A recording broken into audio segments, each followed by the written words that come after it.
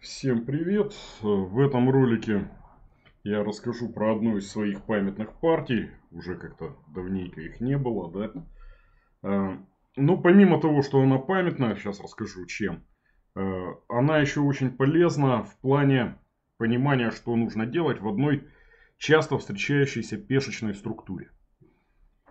А, моим противником был московский гроссмейстер Андрей Рычагов – Партия игралась в Аэрофлот Опене 2009 года в шестом туре. В предыдущей белой партии я не сумел реализовать очень большой перевес и сделал ничью э, с Михаилом Крыловым, неплохим международным мастером. И на эту, конечно, шел с очень боевым настроением. Э, после первых ходов у нас получилось Карлсбадская система ферзевого гамбита. Карлсбадский вариант ферзевого гамбита возник.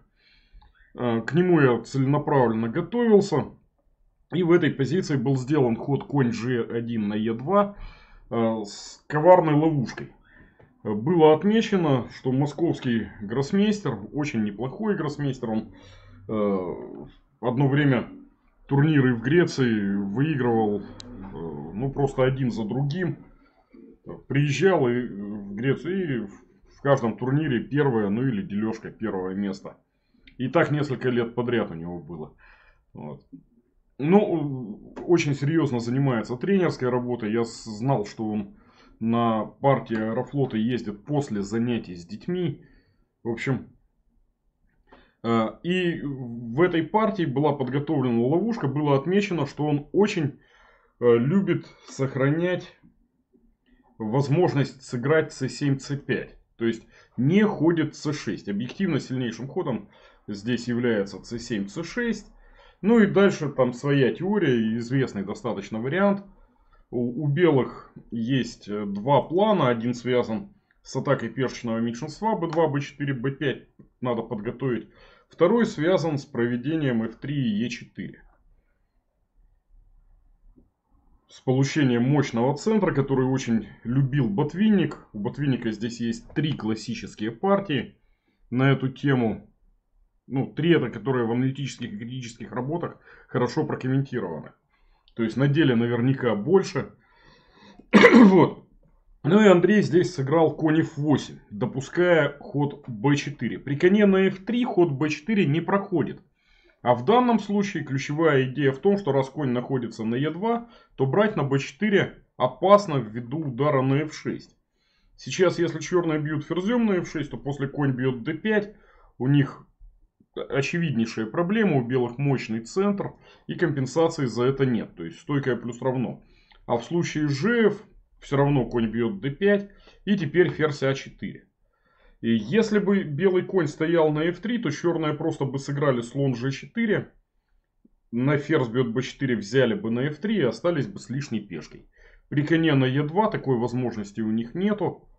Ну, то есть белые съедят на b4 и получат мощнейший центр. Плюс испорченную пешечную структуру черных. Висит слон b4, висит ладья e8.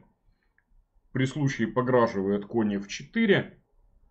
А в случае слон h3 Э, я пришел к выводу, что здесь очень сильно взятие даже не конем, конем тоже неплохо, взятие пешкой, конь идет на h5, у черных возникают серьезные проблемы с защитой пешек э, королевского фланга, а на ферзевом вне игры расположен чернопольный слон, то есть у белых здесь большой перевес. Ну и после а6 э, классическим решением здесь было, конечно, ферзь b3 с дальнейшим а4, b5, и осадой пешки d5. То есть белые сэкономили темп на ходе ладья b1. Это очень важно. Обычно для того, чтобы провести b4, им требуется сыграть ладья b1. Здесь лишний темп позволяет сыграть иначе. Я побил на f6. Этот ход, на мой взгляд, менее правильный. И сыграл а4. То есть все равно хочу пойти b5.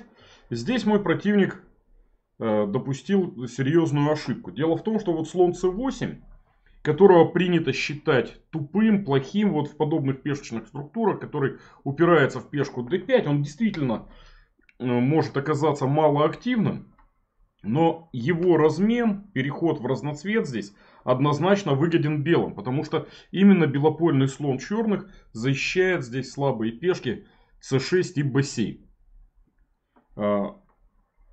То есть размен этих слонов здесь выгоден белым. После слон бьет e2, конь бьет e2, g6, слон белых отошел на h3, и вот у них все готово для того, чтобы пойти b4, b5. То есть вот эта позиция уже с очевидным перевесом.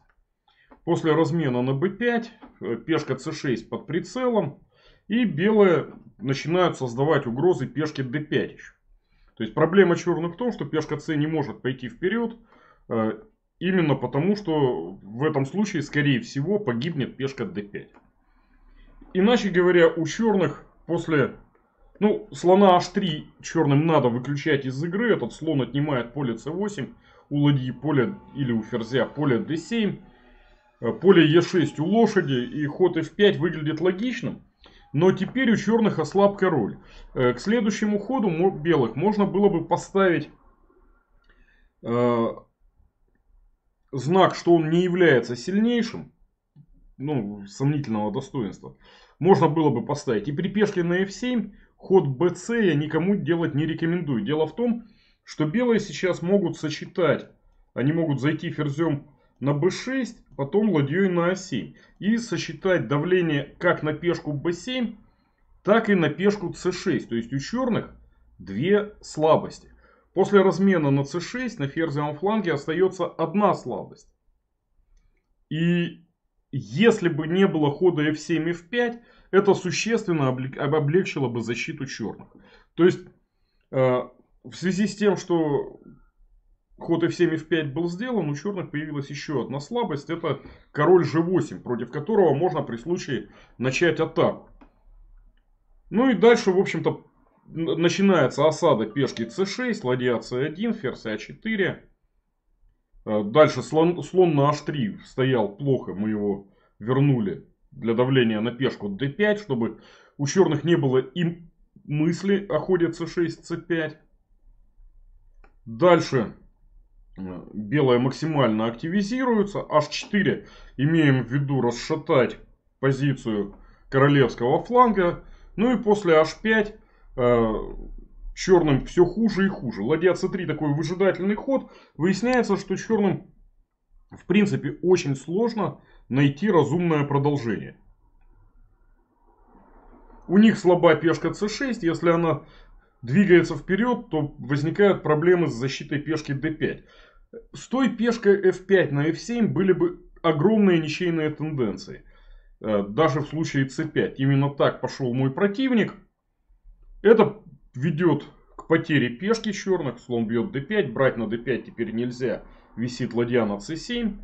И после слона f8, конь f4, белые не только выиграли пешку d5, но и заходят по белым полям в гости к вражескому королю.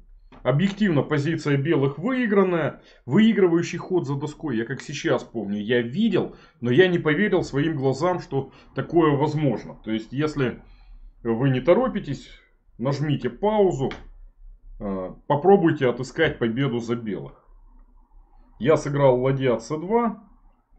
В общем, выигрывал такой вот удар. Понятно, что взятие ферзем на g6 это черные без слона, ну, то есть без двух пешек уже. И позиция не требует никаких комментариев, а после ферзь, ферзь бьет c3, у белых есть ход конь e5, и выясняется, что удовлетворительной защиты от мата в два хода нету, потому что на ладья g7 последует ферзь бьет h5. Но я просто не поверил своим глазам, что вот такое бывает, что слон g7 тоже черных от мата не спасает, ввиду ферзь бьет h5 и потом ферзь g6 и ферзь g8, э, что шах у них максимум один, а дальше уже надо отдавать ферзя.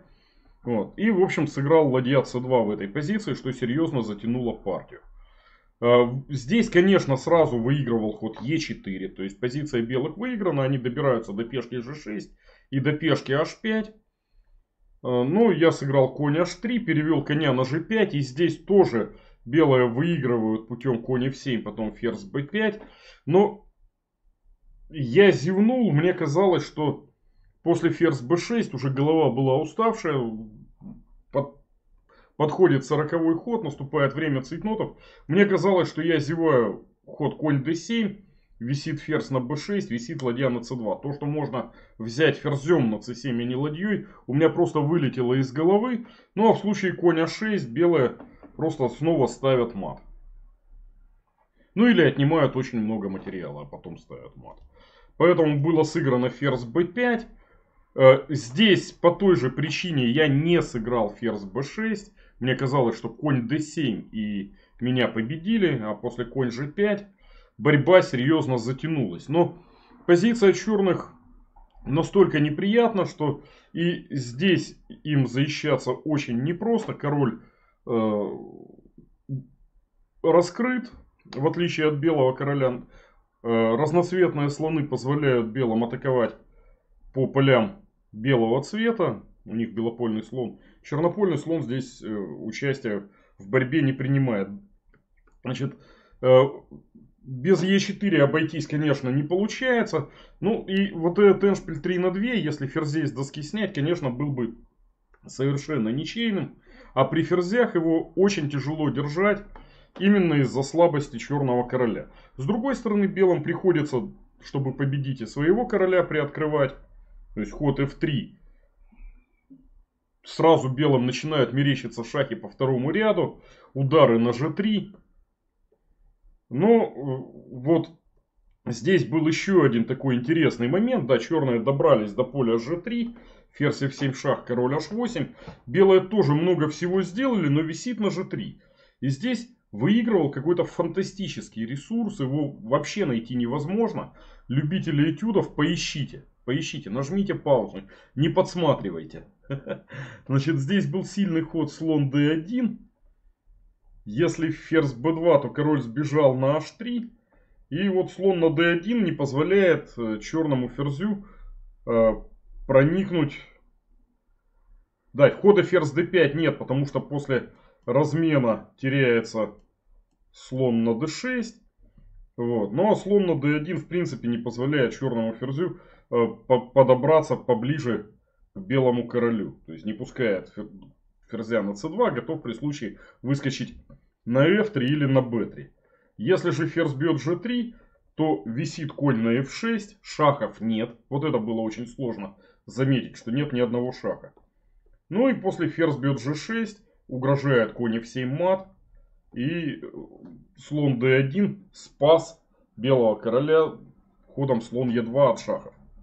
После ферзь c1 король g2 удовлетворительной защиты от коня f7 с выигрышем ферзя просто нет. Ну, ход, конечно, вроде бы слон c2 на такой атакующей позиции. Ход слоном назад в разгар атаки, чтобы прикрыть поле e2 от шахов, конечно, найти очень сложно. К тому же 60-й ход, все устали. И я соблазнился переходом в ничейный эншпиль. Конь d5, слон бьет g6. И здесь еще раз э, на паузу рекомендую поставить любителям окончаний. То есть поищите, как здесь черные делают ничью. Ну, я вам сейчас покажу. Черные сыграли слон d6. А, был ход конь e3. И только теперь слон d6. Разница в том, что после f4 слон бьет e5.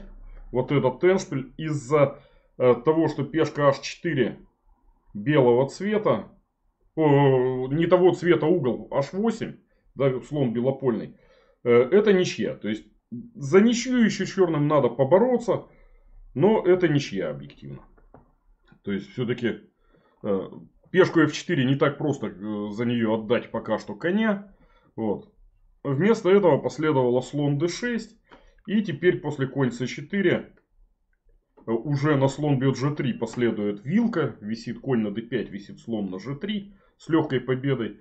Ну, а ну с какой легкой? При случае пришлось бы мотовать слоном и конем голого короля, но я это умею. Вот. А этот эншпиль уже совершенно выигранный. Важно, что проигрывает король f5 из-за перехода в пешечные окончания. То есть здесь белые выигрывают очень легко. Все. Пешка f проходит и ферзь быстро матует. Поэтому последовало слон e5. Ну а здесь также конь f4 шаг. Снова переход в пешечный эншпиль невозможный. Ну и белые активизировали своего короля по максимуму. Угрожают сыграть э, король Е6. Запустить пешку F. Э, слон не может отлучаться от пешки G3.